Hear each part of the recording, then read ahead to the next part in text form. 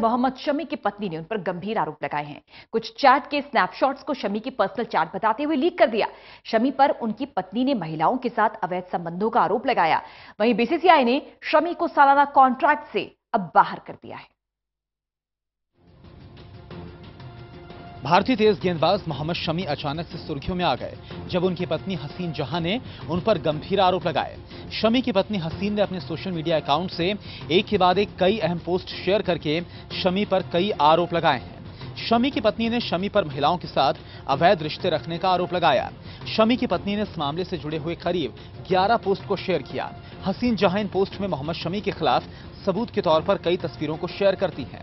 वहीं शमी के मोबाइल से लड़कियों के साथ की गई चैट के स्क्रीनशॉट्स को भी शेयर किया गया, जिसमें अश्लील बातें की गई। भारतीय क्रिकेटर मोहम्मद शमी की पत्नी हसीन जहाँ के मुताबिक शमी साउथ अफ्रीका से दुबई आया, वहाँ पर पाकिस्तानी लड़की से मिला। दुबई में इसके साथ ही होटल में ठहरा, लड़की के साथ रूम शेयर किया। आरोप है कि शमी दूसरी लड़कियों से अंतरंग चैट करते हैं। हसीन ने साउथ अफ्रीका दौरे से लौटने के बाद शमी द्वारा अपने साथ मारपिटाई करने का भी आरोप लगाया। अपने ऊपर लग रहे आरोपों पर मोहम्मद शमी ने ट्विटर पर सफ़ाई दी। मोहम्मद शमी ने लिखा कि उन्हें बदनाम करने की कोशिश हो रही है। मोहम्मद शमी और उनकी पत्नी हसीन जहाँ से जुड़े करीबी पारिवारिक सूत्रों की माने तो दोनों के बीच तीन से चार महीने से सब कुछ ठीक नहीं चल रहा।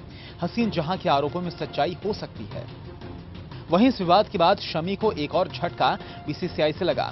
दरअसल सुप्रीम कोर्ट की गठित क्रिकेट प्रशासकीय कमेटी ने क्रिकेटरों के नए कॉन्ट्रैक्ट की घोषणा कर दी है।